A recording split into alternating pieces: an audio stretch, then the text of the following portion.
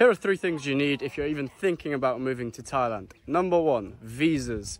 You can't just up and leave and move to Thailand. First of all, you have two options. You have the tourist visa, and then you have an education visa, as well as a business visa and an elite visa, but we'll get to those in a second. Tourist visa, you're just gonna have to do visa runs every two months to the nearest border, usually with an airplane. So if you can be asked to do that every two, three months, that's one option. You don't need to fill out any paperwork or anything special like that.